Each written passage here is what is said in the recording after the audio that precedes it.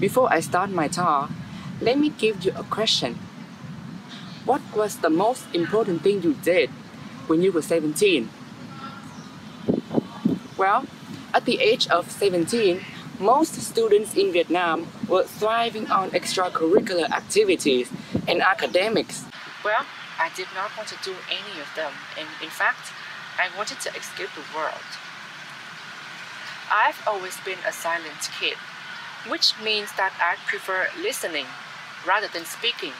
And during my childhood, I've listened so many criticisms about the way I looked, about the way I spoke, the way I had fun, and enjoyed my own life. I soon went into depression and wanted to escape the world. It felt like being rotten inside out. It felt like there were no colors reflected on my vision and no purpose of living in this world. So whenever I came home from my high school, I would curl into my bed and go to sleep to pass my time. Until one day, I typed the word corgis on YouTube. And for those of you who don't really know what a corgi is, it kind of looked like this. What I found back then was a video and I clicked in. And my first thought was, hmm, this guy is kind of handsome.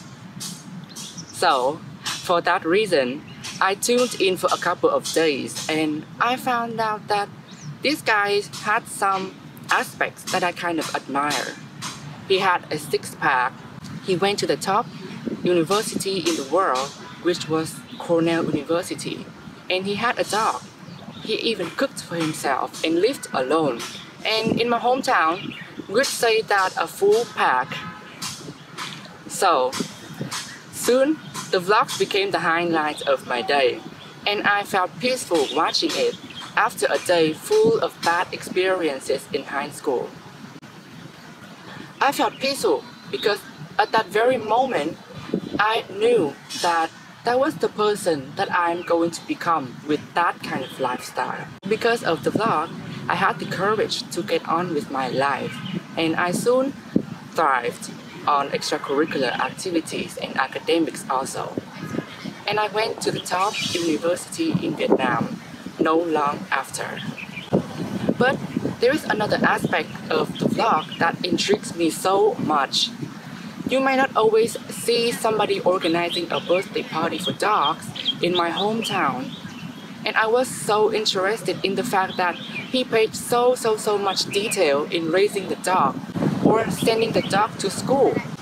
The dog person inside me was woken up and I did not realize how hard it was to raise a dog until one year later that I had first seen his vlogs, I got my own dog, which I named Nya.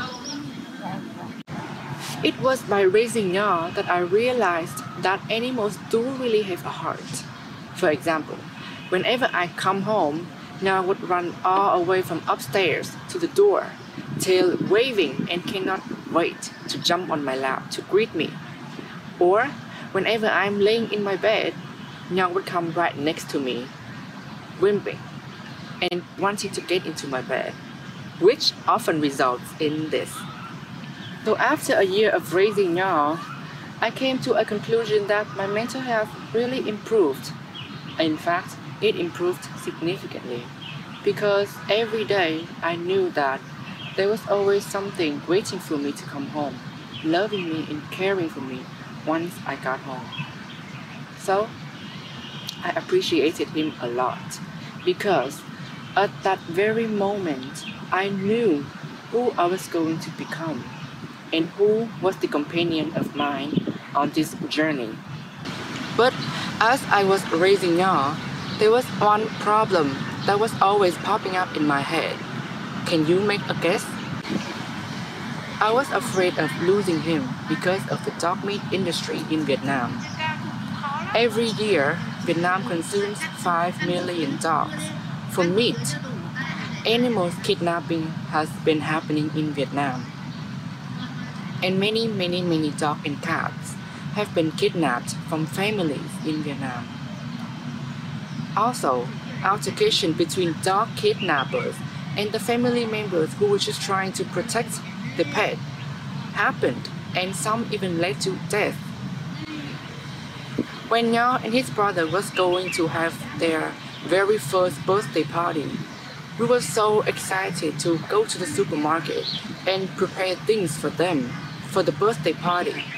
And then one day I woke up to this very bad news. Her mother, Phúc, was nowhere to be found. Phúc was a loving and caring dog that we loved so much. And the fact that we could not find her anywhere made us feel really sad and hopeless. I figured now is the time we do not stay silent, but to raise some questions. And my question here is, how can we solve this kind of problem? Because we believe that everybody here is equally important to realize that animals do really have a heart. And these issues are becoming much, much more dangerous than you ever imagined. So, there are two solutions we'd love you to remember right now. First, right here, right at this moment, when you are watching this video, please remember the last meal you had that had dog meat or cat meat. In case you don't remember them, ask your parent to recall that meal and recall what was the source that you got it from. If it came from the market or somewhere unreliable, it might have come from a family that is still remembering the meal you had. So, in the future, if you ever see dog or cat meat, please avoid that as much as possible because somebody out there may be missing that meal. The second thing is that we also believe in a more loving and generous generation towards the animals. So if you ever see a young person or a child that is not lucky enough to realize the animal's heart, please tell them to not be afraid. And this quote To you, a dog or a cat may just be an animal, but to them, you may be their whole world. To wrap things up, I'd love to send you the last quote. And in the future, if you ever get stressed out, depressed, or unhappy, we believe you should get a dog or a cat and help save them in Vietnam. Thank you.